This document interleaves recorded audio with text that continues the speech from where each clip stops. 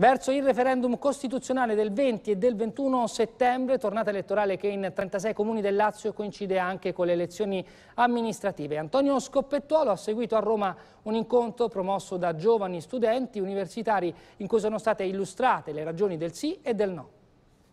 A lezione di cittadinanza e responsabilità, un incontro dibattito promosso da studenti e per gli studenti, ospiti due giuristi per discutere delle ragioni del sì e del no in vista del prossimo referendum costituzionale. Un modo per entrare davvero nei problemi che ci riguardano, dicono i ragazzi, tutti giovanissimi ma con le idee chiare. Il motivo in realtà è molto naturale perché è partito in realtà da un dibattito internos dove ci chiedevamo cosa fosse giusto, cosa non fosse giusto votare a questo referendum costituzionale.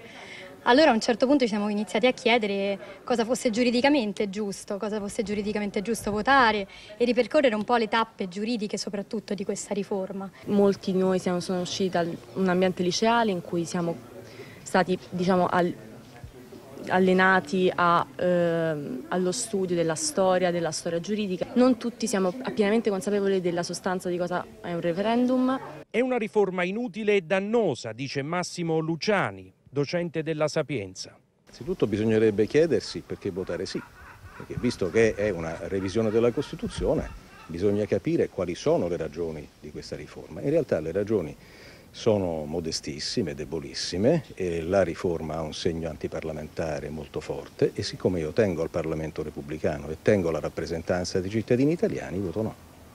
Occorre andare a discutere come si sta facendo nel merito, afferma invece Giulio Napolitano, docente di diritto amministrativo all'Università Roma 3.